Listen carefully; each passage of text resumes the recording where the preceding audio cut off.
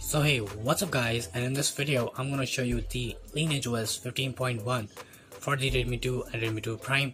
Now it's um very strange why I'm making this video again so I will tell you in this video. So let's get started with this video.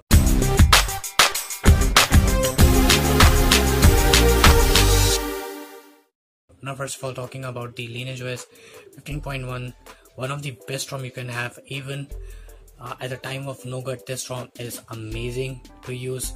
Uh, I've re reviewed this ROM for almost six to seven times because of its amazing um, offering of the stability and performance. The battery to performance ratio is very amazing. It works very good in um, like daily scenarios. If you have still this redmi 2 and no plans to buy any new smartphone then this can be your choice because this ROM can give you a one day of battery life good performance and also you can play little games for uh, like 10 minutes or 5 5 to 10 minutes of gaming and will not drain much. So very very nice ROM and uh, everything is working this ROM so that's I'm showing it even the VoLTE is working. I'm not tested. It it's by the developer. He claims that it's working. And first of all the developer is the Warren Lobo.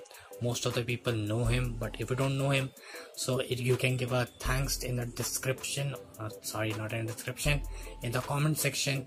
And so thanks to him is maintaining this ROM unofficially and is maintaining very well uh, amazing uh, giving uh, he's amazing and also giving the very amazing stability to the ROM and it is one of the nicest uh, ROM you can have right now. On the Redmi 2 leaving the Nougat and whatsoever Oreo ROM which are available right now you can have this ROM on your phone. If you don't like Lineage OS you can try AOS IP and also the Cosmic both are very amazing working very fine so that's my small review for the Lineage OS 15.1 and yeah some extra stuff to talk about.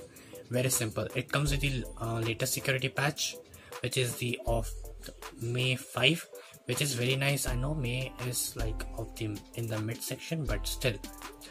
Um does didn't get the may security patch which is very nice to see.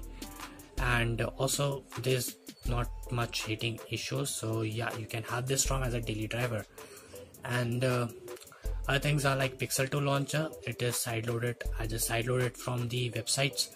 So you can have the launcher from the description itself. So if you like this video you can always give a thumbs up. And also you can subscribe to the channel if you want if you have this device right now.